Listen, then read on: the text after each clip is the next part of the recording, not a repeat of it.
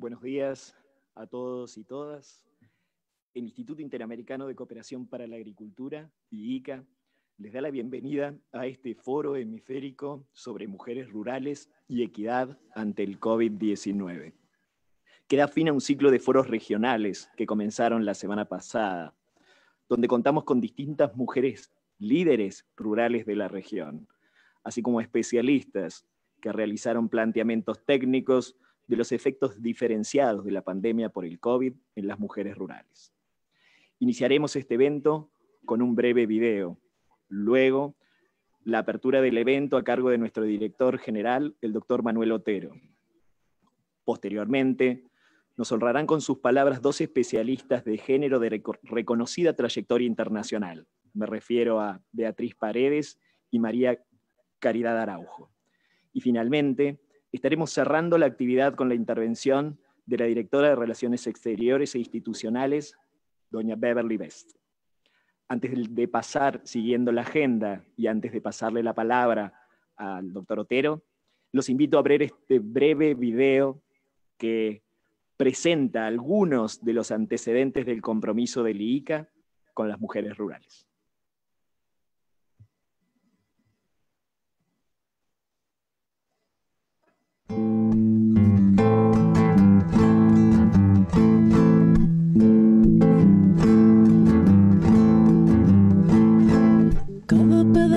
Tuyo. Me gusta enredarme entre tu pelo. Me gusta las arrugas de tu frente. Me gustan como surco en tierra arada. Me gusta ahí. Si vos te vieras, seguro que en tus encantos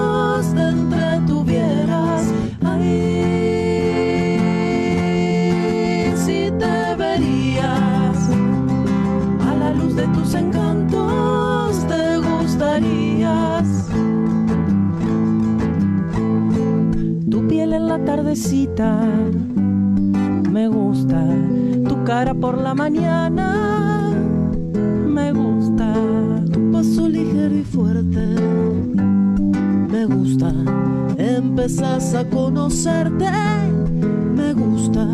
Ahí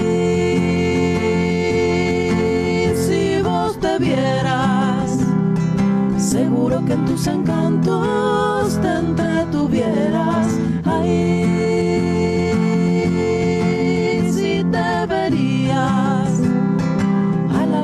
Encantos, te gustarías. Lo que tejes con tus dedos me gusta, todo lo que tú ves feo a mí me gusta la vuelta de tu nariz.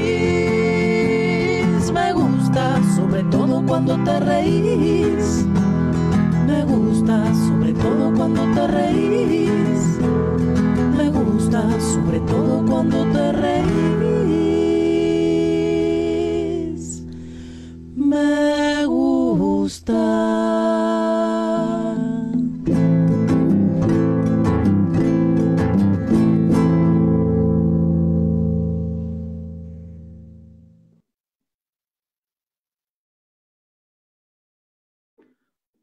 Muchas gracias. A continuación, tiene la palabra inaugural director general. Bueno, muy buenos días a todas y todos. Quiero saludar en primer término a la senadora Beatriz Paredes, a quien le transmito mi admiración, mi afecto, y también a María Caridad Araujo del Vida, quien recién ahora estoy conociendo. Quiero, en primer término, agradecer al equipo del ICA liderado por Federico Villarreal y en donde han participado activamente Iriana Ramírez, Priscila Segura, Diana Salas, por, por, todo este esfuerzo, por la convocatoria del día de hoy que fue precedida, como dijo Federico, por, por una serie de, de, foros regionales. Esta iniciativa del ICA marca varias cosas. En primer término, el absoluto compromiso del delica con los temas de género y mujer rural, en donde no solo no hay marcha atrás, sino que tenemos que apretar el acelerador aprovechando la incertidumbre, la confusión, la necesidad de definir nuevas estrategias de desarrollo.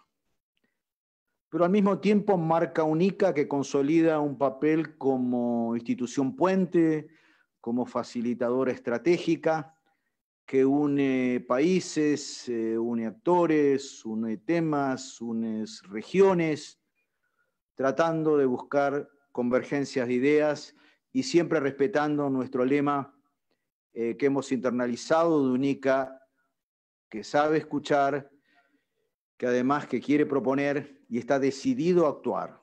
Son tiempos de la cooperación técnica en donde hay que pensar globalmente con una mirada eh, en el largo plazo, pero hay que actuar en el corto plazo.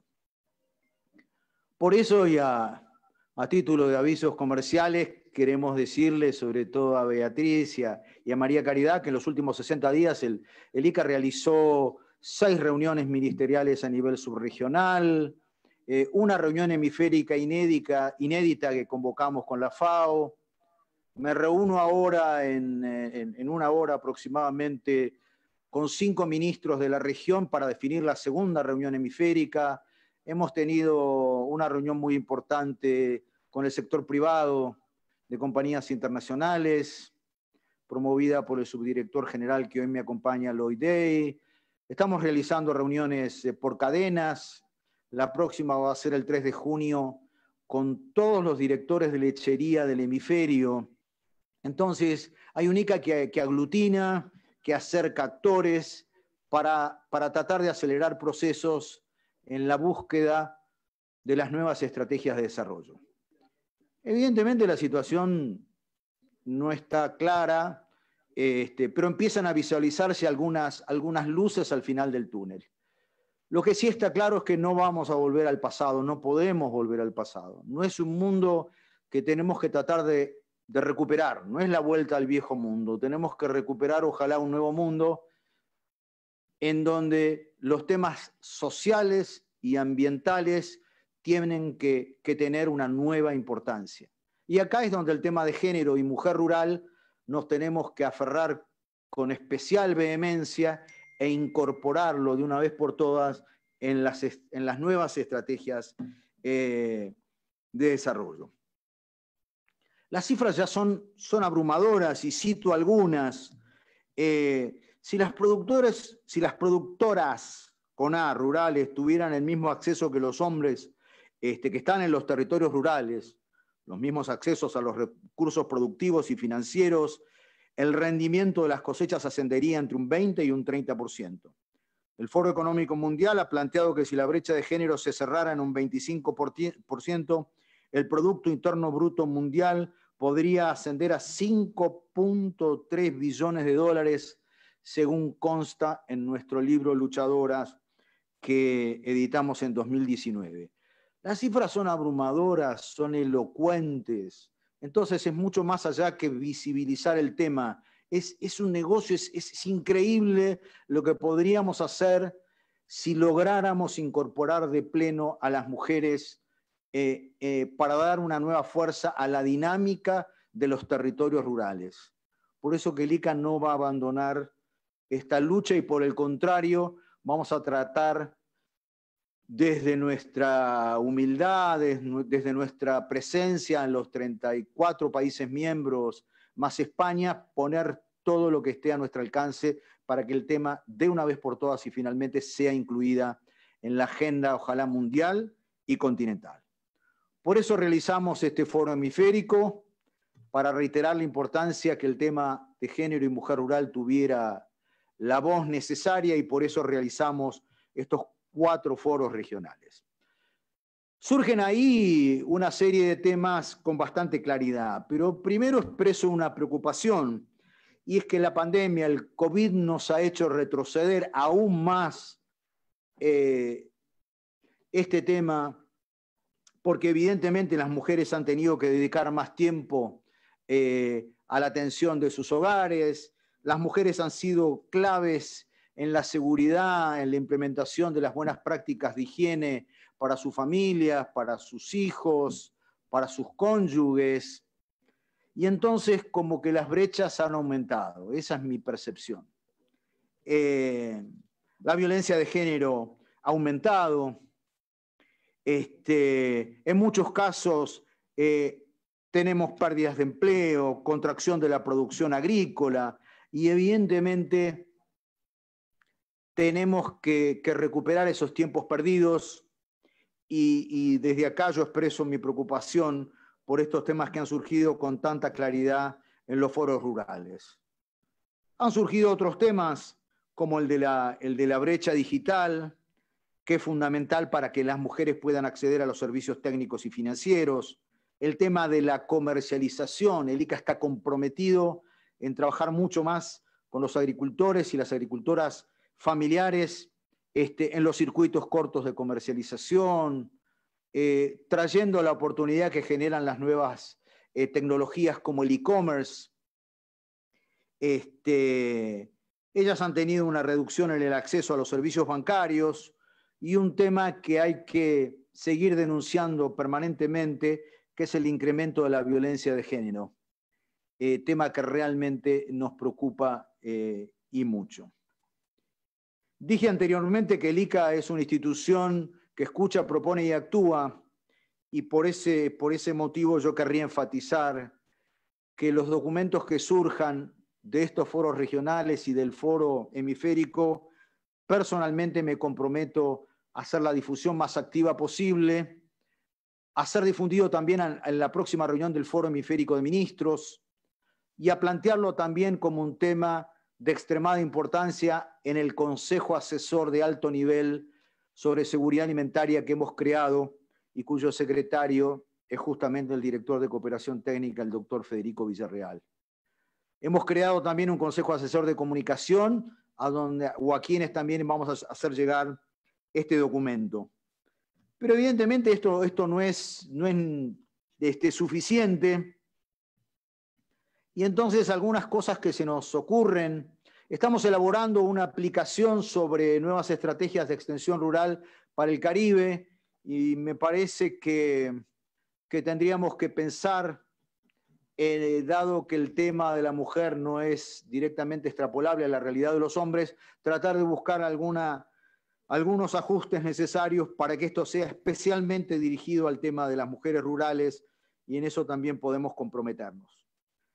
Hablando de los temas digitales, este, quiero comentarles que vamos a hacer en las próximas dos o tres semanas un hackathon a nivel continental sobre tecnologías eh, para circuitos cortos de comercialización y ahí el compromiso es incorporar también eh, el tema de las mujeres rurales, Estamos avanzando un estudio con Microsoft y el BID para demostrar eh, todos los problemas que hay de conectividad en las zonas rurales, pero también podríamos darle este, un especial énfasis a, a las desventajas que tienen en especial las mujeres rurales.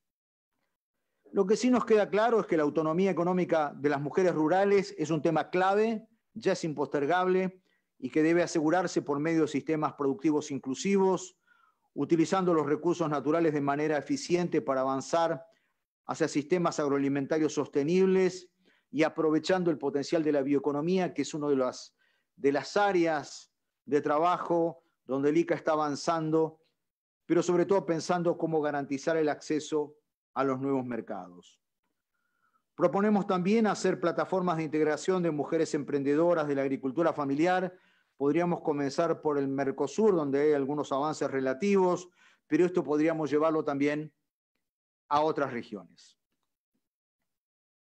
Una de las cosas que siempre insisto en el ICA es que no me gusta ver ningún seminario, ningún foro como un evento aislado, sino por el contrario como disparadores de procesos que promuevan nuevas actitudes y cambios eh, tanto en el sector público, privado, como en la sociedad civil. Por eso un tema que dejo para que ustedes consideren es la posibilidad de institucionalizar este foro, realizando reuniones periódicas y conformando grupos de trabajo para que los temas que acabo de señalar, algunos de los temas como brechas digitales, eh, como comercialización, este, como los temas de tecnología digital, los temas de extensión, sean trabajados por grupos específicos y podamos pasar realmente de la práctica a la acción. Una vez más, como director general del ICA, reitero eh, mi felicitación al equipo ICA que estuvo trabajando en este tema. Le agradezco a, Beatriz y a, María Caridad por su participación el día de hoy, por los aportes que van a hacer y sobre todo porque juntos vamos a transitar este camino que en la construcción de este nuevo mundo y de esa nueva dinámica en los territorios rurales tiene que reconocer los temas de género, de inclusión, el nuevo rol de las mujeres rurales como un tema fundamental eh, para poder eh, transitar con nueva, con nueva esperanza este, en este nuevo mundo que tenemos que, construir entre todos. Muchas gracias. Muchas gracias, Manuel. A continuación, escucharemos a las especialistas en materia de género, quienes contarán con un periodo de hasta 15 minutos para su exposición. Iniciaremos con doña Beatriz Paredes. Beatriz es licenciada en Sociología por la, Universidad Nacional Autónoma de México y posgraduada en Literatura Hispanoamericana por la Universidad de Barcelona. Actualmente es senadora de la República de Estados Unidos Mexicano y presidenta, mexicanos, y presidenta de la Comisión de Ciencia y Tecnología del Senado, además de integrar diversas comisiones en estas cámaras. Doña Beatriz tiene una amplia y muy fructífera trayectoria en el ámbito académico, también en el poder legislativo y ejecutivo, eh, así como a nivel diplomático internacional. Dentro de sus numerosos galardones con los que ha sido reconocida su trayectoria, nos interesa mencionar que ha sido la primera mujer en dirigir la Confederación Nacional Campesina. A continuación, nos honra con su palabra doña Beatriz. Hola, mucho gusto y muy reconocida por estar en este foro. Saludo a eh, mi estimado amigo Manuel Otero y es un honor compartir esta eh, palestra con Caridad Araujo. Eh, como ya lo comenté, participar en este foro hemisférico Mujeres Rurales y Equidad ante la pandemia COVID-19, organizado por el IICA, es muy significativo para mí aprecio al equipo ICA su convocatoria. Este evento concluye un importante proceso de foros regionales. Ya hizo referencia a ello don Manuel Otero. En ese sentido, estoy cierta que las memorias del foro y los videos que han obtenido de las participaciones pueden constituir un importante material de trabajo y de capacitación que yo les ruego cuando estén listas nos las hagan eh, llegar. Intentaré, en lo que a mí corresponde, eh, compartir algunas reflexiones de carácter general y después algunos comentarios específicos.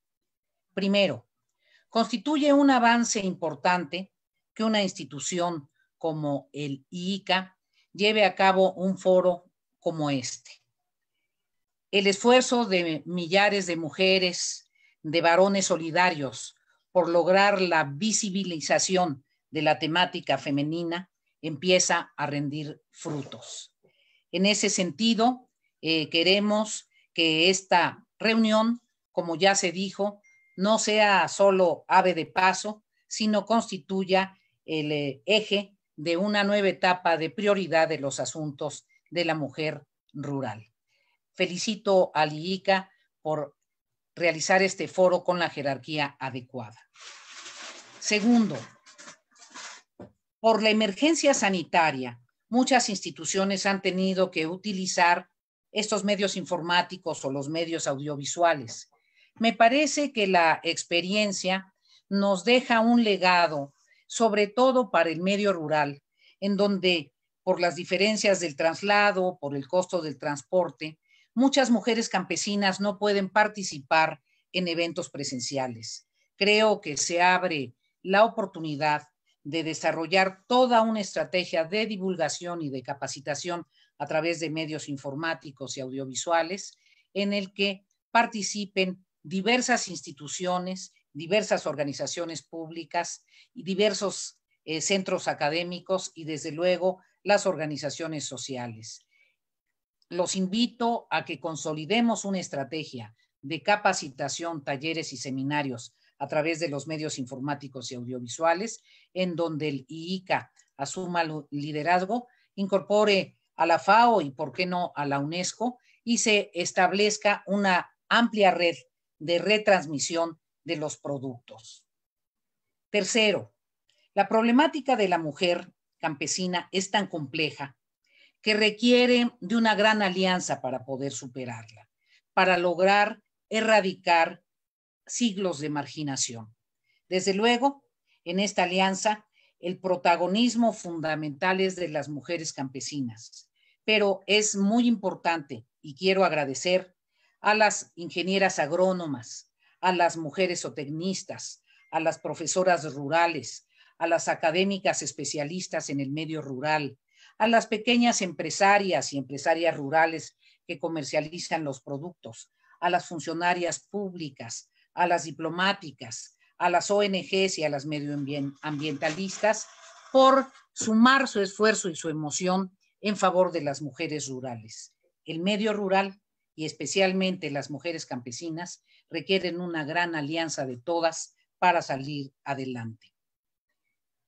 Dicho esto, entro en materia. El enunciado mujeres rurales implica necesariamente hacer un análisis sobre la estratificación hacia el interior de esa expresión, que abarca todo el mundo rural, pero que requiere diferenciarse a su interior para que la conceptualización que se realice sea funcional.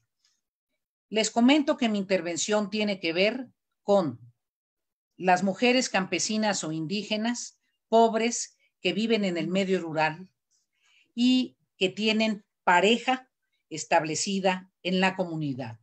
O sea, no son mujeres solas y que poseen de tierra. Las mujeres campesinas o indígenas pobres que tienen tierra y son jefas de hogar. Las mujeres campesinas o indígenas que son jornaleras agrícolas y que trabajan eh, eh, diariamente en, eh, como trabajadoras estacionales o como trabajadoras permanentes. Las mujeres campesinas o indígenas migrantes. Las mujeres campesinas o indígenas que son artesanas y trabajan por cuenta propia. Las mujeres campesinas o indígenas que son pequeñas comerciantes y trabajan en tianguis, en tianguis o en mercados móviles. Las jóvenes mujeres, hijas de familias rurales que trabajan en empaques o en agroindustrias. Las mujeres de origen rural que son trabajadoras domésticas. Desde luego, las mujeres campesinas o indígenas migrantes. Hacer esta diferenciación resulta indispensable, porque independientemente de generalidades a las que ahora me referiré, para eficacia de las políticas públicas y de las estrategias de organización social, resulta indispensable comprender sus especificidades. Las generalidades. Si aceptamos que la cobertura de los sistemas de salud pública en nuestros países, en términos generales, es inferior en el medio rural que en el urbano y que en las regiones más escarpadas del campo la infraestructura en salud es mínima o inexistente, podremos convenir que de arranque ya existe una situación en el medio rural que implica que esta población sea mucho más vulnerable al COVID pues en caso de que se presente la enfermedad, hay muchas menores posibilidades de que se les atienda eficazmente en relación a la oferta de salud en el medio urbano. Si revisamos el tema de la cobertura de seguridad social en los países de América Latina y el Caribe, podremos constatar también que el acceso a la seguridad social y con ello a la asistencia médica que conlleva es mucho menor en el medio rural y que el grado de organización sindical de los trabajadores y las trabajadoras en el sector agropecuario es mucho menor en el mundo de la producción agropecuaria que en el mundo de la producción urbana, empresarial, industrial. Ese es el primer problema estructural que, de inequidad que se enfrenta ante la pandemia del COVID. Hay una desigualdad de salida en los servicios de salud pública en nuestros países. Por otra parte, me podrán argumentar que la pandemia no se ha extendido en el sector rural, pero ello tiene que ver con que su origen se derivaron de agentes externos que llegaron a grandes ciudades y a centros turísticos y ahí se dieron los primeros contagios. En términos generales también considero indispensable, esencial, que se garantice que no se presente hambruna en ninguna de las regiones de, de más alta marginación del campo de América Latina y el Caribe, ni en ninguna zonas rurales o urbanas. Si ha habido desconexión en algunas de las cadenas agroalimentarias con motivo del COVID, y creo que lo deberá tratar el director del IIC en su, en su próxima reunión de cadenas alimentarias, es fundamental que se tomen las medidas de previsión urgentes que eviten cualquier riesgo de hambruna, de hambruna y de desabasto alimentario. Refiriéndome específicamente a la tipología de mujeres eh, campesinas que hice hace unos momentos. Es crucial que para las mujeres que tienen tierra y son acreditadas, las instituciones financiadoras realicen un proceso de renegociación de sus créditos. Me parece que se debe prorrogar el pago de los mismos sin cargarles eh, réditos innecesarios. Es importante que las mujeres que disponen de tierras y no tienen crédito tengan apoyos específicos de paquetes de semillas e insumos que les permitan retomar la producción y los cultivos de la tierra para apoyar su autoabasto y el abasto comunitario. En el caso de las jornaleras agrícolas, es urgente que las autoridades sanitarias establezcan protocolos de prevención en los campos agrícolas y que existe el compromiso de los empleadores del sector agropecuario de aplicarlos puntualmente. Lo mismo tendrá que realizarse con los empaques y las agroindustrias. Es esencial que las autoridades sanitarias, agrícolas y laborales le den la mayor jerarquía al trabajo de supervisión y protocolos de salud en las empresas agroalimentarias. Desde luego, para proteger a las trabajadoras y los trabajadores, pero también para garantizar la inocuidad de sus productos. Enfrentar una problemática muy difícil. Las mujeres campesinas e indígenas que trabajan por cuenta propia y comercializan directamente artesanías o productos agropecuarios perecederos.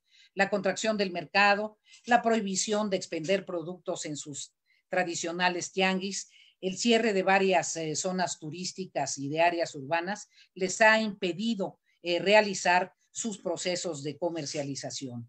Es recomendable que se establezcan mecanismos de apoyo y acompañamiento financiero en esta crisis con créditos a la palabra y apoyos directos, porque tienen muy pocos márgenes de recuperación. Mención especial merecen las mujeres migrantes y las migrantes indocumentadas. La dinámica de la migración ha tenido en Centroamérica, el Caribe y América del Norte un alto nivel de tensión en los últimos meses. Es predecible que esa tensión se incremente aún más con motivos del COVID-19. La recesión en Estados Unidos y la reducción de plazas de trabajo en el gigante del norte va a afectar a quienes sean más prescindibles, en primer lugar, o a quienes no tengan su documentación en regla. Ya no habrá, lamentablemente, las mismas oportunidades de encontrar empleo el principal polo de atracción en la región verá disminuida dramáticamente su capacidad de recepción. Será indispensable garantizar fronteras seguras y amigables, que las políticas migratorias sean democráticas y que se propicie un acuerdo de movilidad que respete los derechos humanos y abra oportunidades. Es deseable que en los centros de detención de las autoridades migratorias se evite el hacinamiento y se garantice la vigencia de los eh, derechos humanos y se establezcan rigurosos protocolos sanitarios. Ante el nuevo panorama migratorio derivado del COVID-19, nos atrevimos, atrevemos a sugerir que con el liderazgo del IICA y la participación de diversos organismos internacionales de cooperación y financieros, se desarrolle y ponga en práctica un plan regional de generación de empleos y ocupación permanente en el sector rural de nuestras regiones latinoamericanas y caribeñas. Finalmente, no puedo dejar de referirme a las trabajadoras mujeres domésticas. Las trabajadoras domésticas que se dedican en nuestra región al trabajo en el hogar de otros de manera asalariada, viven en condiciones laborales precarias. No hemos cumplido a cabalidad en la región las recomendaciones de los documentos sobre la materia de la Organización Internacional del Trabajo. No podemos permitir que esa asignatura siga pendiente. Amigas y amigos, muchas gracias por esta oportunidad de compartir estas ideas con quienes se esmeran y trabajan con emoción por las mujeres rurales de América y por la agricultura de nuestros países. Lo que importa es reafirmar nuestro compromiso con la mujer rural. En, en cualquier trinchera que yo me encuentre, ahí está mi compromiso. Yo aprendí mucho con las mujeres campesinas y con las mujeres indígenas. Aprendí sobre todo que las mujeres del campo de nuestra América Latina nunca aprendieron a rendirse, nunca se han rendido. Esa es la gran lección para todos. Muchas gracias. Muchas gracias, Beatriz. Eh, inspiradoras sus palabras. Eh, a continuación, doña María Caridad Araujo nos hará, exposición de, nos hará su exposición. Eh, doña María Caridad es jefa de la División de Género y Diversidad del Banco Interamericano de Desarrollo, BID, donde dirige esfuerzos para mejorar el acceso a servicios de calidad, las oportunidades económicas y fortalecer la voz y la representación de las mujeres, los pueblos indígenas, los afrodescendientes, las personas con discapacidad y la comunidad LGBTQ. Como economista principal de la División de Salud y Protección Social del BID, trabajó en programas de desarrollo infantil y de combate a la pobreza. Fue docente de la Universidad de Georgetown y trabajó en el Banco Mundial. Tiene un doctorado en Economía Agrícola y de los Recursos Naturales de la Universidad de California, Berkeley. Doña Caridad, tienes el micrófono. Buenos días, muchas gracias. ¿Me escuchan? Perfecto, doña Caridad. Buenos días, muchas gracias. Eh, quisiera eh, decirles que para mí es un honor, estar eh, participando en este foro, compartiendo con, una mujer a quien admiro y con la trayectoria de Beatriz.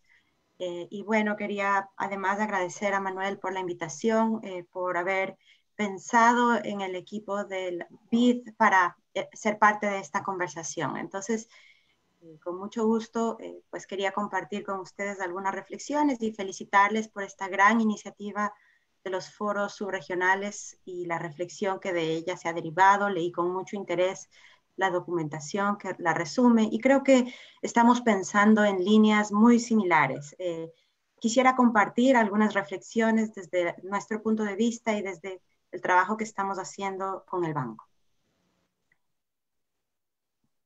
A ver. ¿Cómo es esto?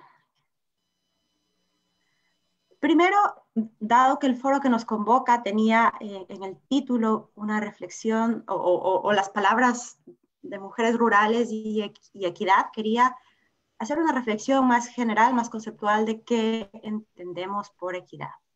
Y digamos, desde el punto de vista de las reflexiones que yo voy a estar compartiendo, estoy pensando en la equidad como un concepto con dos pilares. Por un lado, las mismas oportunidades para el desarrollo y la construcción de una trayectoria de vida de la elección de cada persona.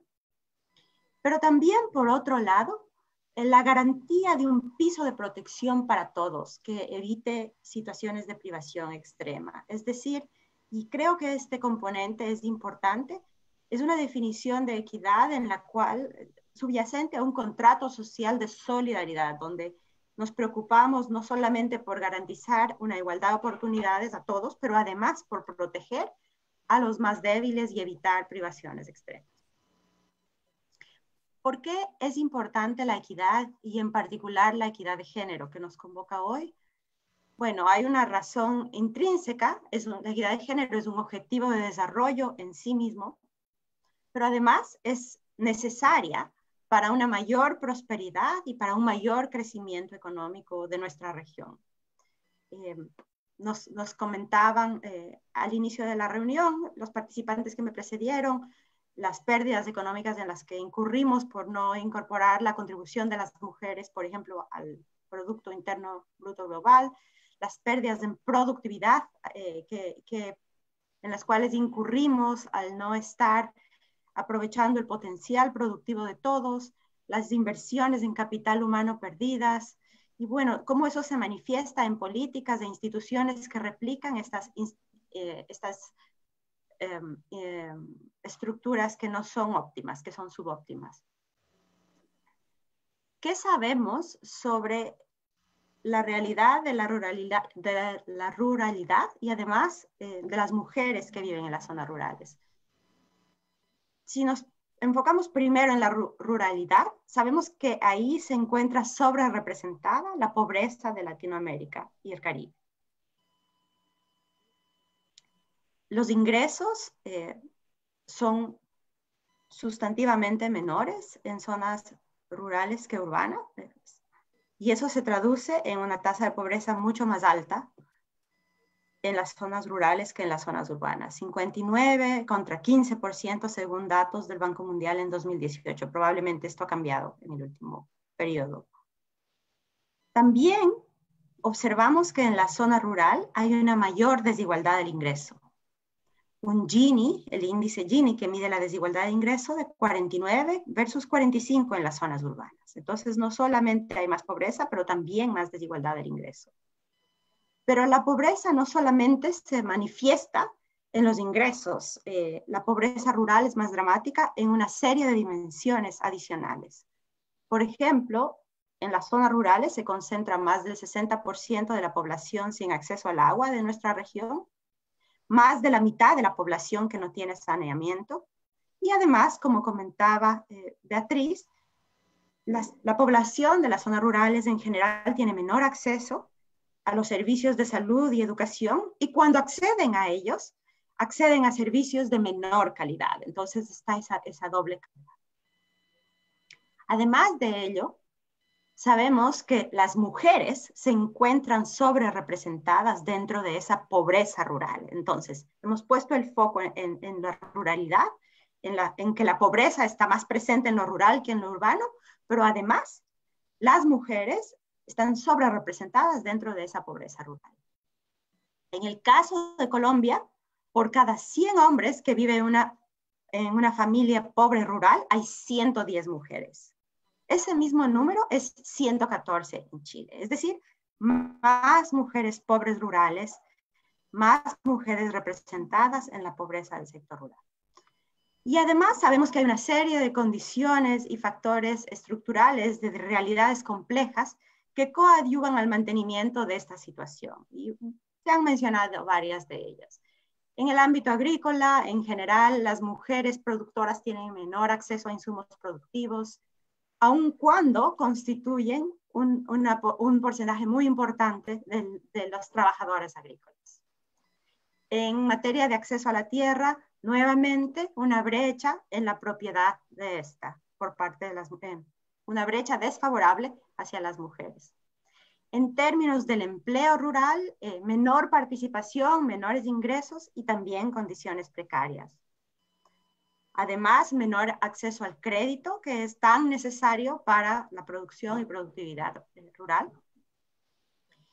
eh, dificultades en materia de acceso a agua y a energía. Sabemos que lamentablemente muchas niñas y mujeres rurales todavía en nuestra región destinan muchas horas de tiempo al día para recoger combustibles y aguas. Y además, como mencionaban eh, Manuel y Beatriz, brechas de género en el acceso y uso no solamente de las tecnologías agrícolas, pero además de las tecnologías en general, de las tecnologías digitales. Y a eso se suma, pues, una sobrecarga en las tareas domésticas, eh, que se traduce en una pobreza de tiempo y una triste realidad de muchos años agudizada en, en las circunstancias actuales de violencia intrafamiliar y de violencia contra las mujeres. Ahora tras esta breve introducción, quisiera poner la lupa eh, más directa en cómo está afectando la pandemia a las mujeres rurales y destacar al menos seis aspectos, seis dimensiones en las cuales vemos que existe un efecto diferenciado eh, por el cual las respuestas de política pública también deben diferenciar las necesidades y las respuestas hacia las mujeres rurales. Por un lado, sabemos que eh, hay un mayor riesgo de enfermedad que se relaciona a, la, a, las dificultades en el acceso al agua para el lavado de manos, eh, a las restricciones que se imponen en el confinamiento, al retorno de migrantes desde zonas urbanas, a la, existencia o persistencia de servicios sanitarios de mala calidad, y a la exposición de las mujeres al cuidado de otros y en particular al cuidado de los enfermos. Segundo, sabemos que hay una mayor carga de trabajo dentro del hogar, más aún ahora que están cerradas eh, las escuelas en la mayoría de países de la región, así como los servicios de cuidado infantil. Y estamos hablando del cuidado de niños, de ancianos y también de la asistencia a personas con discapacidad, que son tareas que tradicionalmente han recaído principalmente sobre las mujeres. Como, como mencionábamos antes, eh, todo esto en un contexto en el cual el acceso a los servicios sociales de salud, de educación, el acceso a servicios y el acceso a servicios de calidad es todavía menor en el ámbito rural.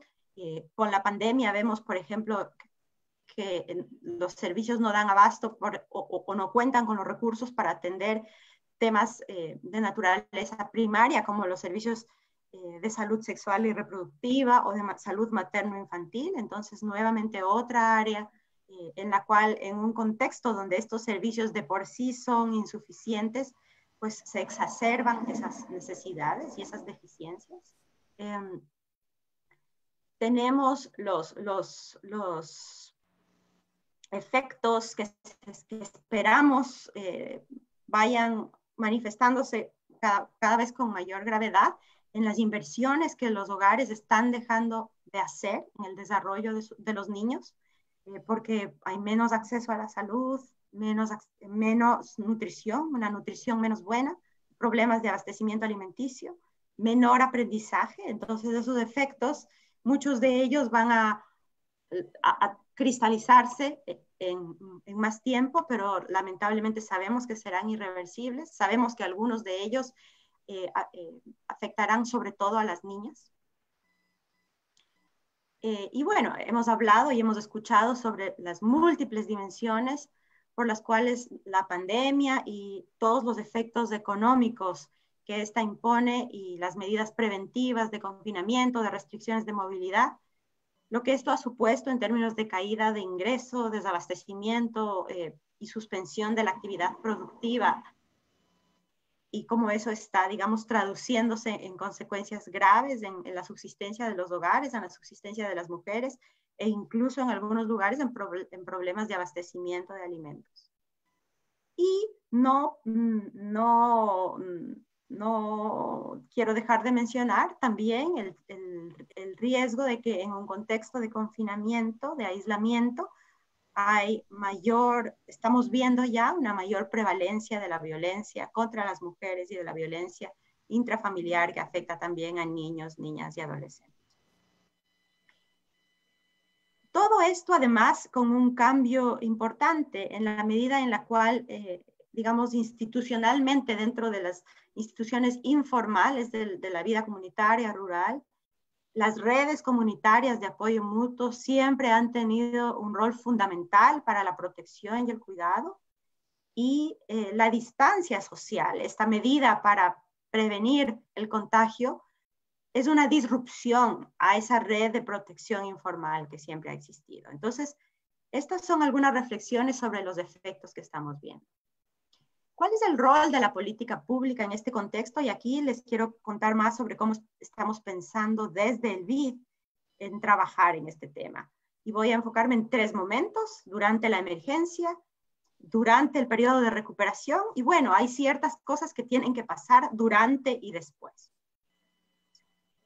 Em, durante la emergencia, vemos algunas oportunidades que varias de ellas eh, que los países de la región ya están adoptando, pero que nos permiten eh, proteger y apoyar los ingresos de las familias rurales. Por ejemplo, el, el que mujeres rurales y especialmente aquellas en hogares con niños pequeños sean consideradas población vulnerable para eh, los programas de transferencia monetaria de respuesta a la emergencia que se han puesto en marcha en varios países. Segundo, el no descuidar el financiamiento y la adecuada provisión de personal e insumos para los servicios de salud materno-infantil, de salud sexual y reproductiva en zonas rurales. Tercero, la necesidad de fortalecer los programas de apoyo nutricional para las mujeres en edad fértil y los niños menores de 5 años. Y cuarto, el fortalecer las acciones de prevención y de atención a la violencia intrafamiliar en el contexto de la distancia social y el confinamiento que estamos viviendo. Entonces hay que no solamente fortalecer, sino adaptar esos servicios a esa realidad. También estamos trabajando en, en pensar cómo compensar eh, la ausencia de alimentación escolar durante el cierre de escuelas, eh, cómo promover la participación de las mujeres rurales en la toma de decisiones a nivel nacional y a nivel local, y también cómo facilitar información oportuna, accesible y que sea culturalmente pertinente sobre los temas de salud, sobre las acciones y, y ofertas de la política pública que llegue a, a quien tiene que llegar en la zona rural y en particular a las mujeres rurales. Durante el periodo de la recuperación vemos algunas oportunidades y prioridades claves, por ejemplo, las inversiones en agua y saneamiento, no solo en comunidades, pero en escuelas, centros de salud, centros de cuidado infantil, etcétera. Las inversiones en la conectividad y en la inclusión digital. Vemos que esta agenda va a tener que acelerarse y no puede excluir a la población rural y especialmente a la población rural que está eh, más aislada. Eh, pues está, sigue pendiente la, la, agenda que ha sido postergada de acceso y calidad en los servicios sociales de salud y educación. Y pensamos que también tenemos que, pensar, que, que diseñar programas de empleo y, apoyo productivo que sean pertinentes y que den prioridad a las mujeres en el ámbito rural. Eh, y bueno, en el durante y en el después, lo, principal, digamos, es mirar y tomar en cuenta a profundidad cuáles son las necesidades diferentes eh, de las mujeres, pero además no las mujeres como un todo homogéneo, sino también reconociendo que dentro de ese grupo hay subgrupos que enfrentan mayores situaciones de vulnerabilidad y mayores situaciones de riesgo. Entonces, poniendo un acento en las necesidades diferenciadas de las mujeres con discapacidad, de las mujeres indígenas, de las mujeres afrodescendientes y también de las mujeres del colectivo LGBTQ. Es con esa mirada que desde el BID estamos trabajando tanto en lo operativo como en nuestra agenda de apoyo y diálogo técnico a los países y en nuestra agenda de conocimiento en respuesta a esta pandemia. Quería aprovechar yo también, al igual que Manuel, para hacer una pequeña eh, promoción de algunos materiales que pueden ser de relevancia para esta audiencia. El BID ha puesto eh, a disposición del público una página web en la cual hay muchos documentos relacionados a la política social y a la política pública en el contexto de la pandemia www.iadb.org ES coronavirus. En esa página quería sobre todo comentar que hay tres documentos muy relevantes para quienes participamos en esta conversación. Una nota con recursos concretos sobre cómo responder al incremento en la violencia contra las mujeres.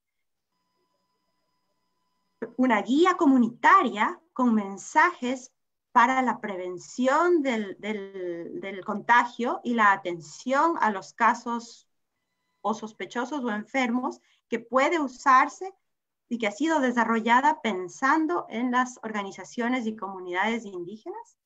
Y además una guía también de prevención y manejo de los aspectos sanitarios de la pandemia en territorios indígenas que ha sido pensada y desarrollada para que sea usada por las autoridades sanitarias, de seguridad, agrícolas, y que sirva a atender ese puente en, cuanto a la comunicación y a los mensajes que a veces se pierden por dificultad, por diferencias de visión, de lengua, de cultura, etc. Entonces quería compartir con ustedes estos recursos, eh, espero que sean de interés y también eh, pues eh, a las órdenes si, si, tuvieran retroalimentación y comentarios. Y bueno, no me queda sino agradecerles por este espacio. para nosotros ha sido un gran privilegio poder compartir estas ideas aquí y felicitar a Lika por la iniciativa de haber organizado esta reunión. Buenos días. Estimada María Caridad, muchas gracias por sus palabras, realmente muy ilustrativa y, enriquecedora su intervención. Antes de darle la palabra a Beverly Best, no quiero dejar de agradecer en nombre de todo el equipo de la Dirección de Cooperación Técnica a la iniciativa del director general para el desarrollo de este evento. Él fue el mentor y promotor de esta actividad debido a un compromiso con los ministros que mencionó. Él está siguiendo este evento de manera remota en este momento y en su lugar físicamente nos acompaña a mi derecha, a quien agradezco, el subdirector general Lloyd Day. Siguiendo la agenda y para concluir el evento, me complace darle la palabra a la directora de Relaciones Externas e Institucionales, mi amiga Beverly Best. Beverly. Thank you, Federico, and good morning to all. We have had some very interesting and seminal discussions over the last Muchas gracias, Federico. Hemos tenido importantes presentaciones sobre la pandemia y la situación de la mujer rural. Primero quisiera contribuir, eh, agradecer a todos los que han contribuido, a los moderadores, a los que, a los expositores, a los que han participado en línea y al personal del ICA por su trabajo diligente y por sus esfuerzos por hacer de estos foros un éxito. Quisiera hacer mención especial de mi gran amigo Federico Villarreal y al grupo de mujeres que han preparado esta, este programa. Es Priscila Díaz, Eliana Ramírez, Diana Salas y Nadia Monge. Muchísimas gracias por su apoyo y por su audio arduo trabajo para que este evento sea un éxito. Me han dado la tarea de hacer algunas conclusiones. Esto es bastante difícil porque tengo que resumir información tan importante que han compartido con nosotros en los últimos días y solamente tengo unos minutos para ello. Entonces, lo que voy a hacer es extender una invitación a todas las personas que han participado en estos foros para que vean estos foros como el inicio de un diálogo permanente que nos ayudará a cambiar la situación de la mujer rural. En, todas las, en todos los debates hemos visto que la pandemia del COVID-19 no solo constituye un desafío para los servicios de salud, sino que también es una prueba para el espíritu humano para el ICA. Es una prueba eh, está poniendo, se está poniendo a prueba la capacidad del instituto de unirse y mostrar solidaridad de nuevas formas, de mostrar mm, nuestro agradecimiento y motivar a otros, sobre todo los más vulnerables, los que necesitan más de nuestra asistencia, para marcar una diferencia que cambie la vida de las personas, sobre todo de aquellas en las zonas rurales. Se ha reconocido que en toda sociedad humana las eh, mujeres eh, juegan un papel central en términos de producción y su contribución a diferentes aspectos. El ICA, a través de esta serie de foros, está pasando más allá, yendo más allá del reconocimiento, al proporcionar un espacio para dar mayor visibilidad y empoderar a la mujer rural y que sea parte de una economía más amplia. Esta pandemia está siendo testigo de la realidad social, política y económica de la mujer a nivel mundial. Hemos escuchado al director general y a la señora Beatriz Parede y la señora María Caridad Araujo el día de hoy. Y también escuchamos la experiencia que compartieron otros expositores que les precedieron. Hemos visto la información que han compartido que nos indica que esta crisis ha sido amplificada y está poniendo en evidencia las discapacidades y, las y los problemas que afectan a la mujer rural de diferentes formas. Un encabeza, un titular reciente en el Washington Post indica que en lugar de ver la crisis actual como una recesión, deberíamos verlo como una nueva oportunidad de ver el impacto económico que está teniendo en las mujeres en términos de la pérdida de empleos y el acceso limitado a redes de seguridad social, transferencias monetarias y pensiones sociales. Esto ha sido manifestado de manera muy elocuente por nuestros expositores el día de hoy. Hay una mayor demanda de, cuida, de, de cuido en los hogares. Eh, para cuidar de los niños y los ancianos y también hay una falta de acceso a, la, a los servicios de salud reproductiva. La división digital también eh, pone más eh, presión sobre las mujeres y limita sus capacidades de proteger a sus, eh, a sus hijos y también ha aumentado la violencia doméstica en un estudio reciente del Banco Mundial, hemos visto que ha aumentado del 30 al 60% desde los inicios de la pandemia. Y la lista es infinita. En, muchos, en muchas áreas hemos visto que la pandemia del COVID ha aumentado la presión sobre los sistemas productivos, sobre la salud, y las mujeres están viendo particularmente afectadas por esta mayor presión, por el papel o la función que desempeñan en la producción, en los cuidados de la salud, en la educación. Además, tenemos las vulnerabilidades basadas en el género que ponen en evidencia las desventajas, sobre todo en el Caribe, en donde hay muchas mujeres que son jefas de hogar. En las sociedades del Caribe muchas veces se hace referencia a, a la mujer que fue para mí padre y madre, que pone de manifiesto el papel que ha desempeñado la mujer en la sociedad actual. Entonces ha llegado el momento de, de asumir un compromiso más amplio para poder abordar los desafíos que enfrentan las mujeres y reconstruir el tejido social de nuestras comunidades durante y después de esta pandemia, así como la el impacto de la pandemia no es neutral en términos de género. Las soluciones tampoco pueden ser neutrales en términos de género. para que se puedan implementar diferentes y nuevas políticas, es necesario incorporar a la mujer rural como agentes de cambio y prestar especial atención al hecho de que no solo deben jugar un papel activo, sino que deben participar de manera integral, porque eh, no basta con decir que van, deben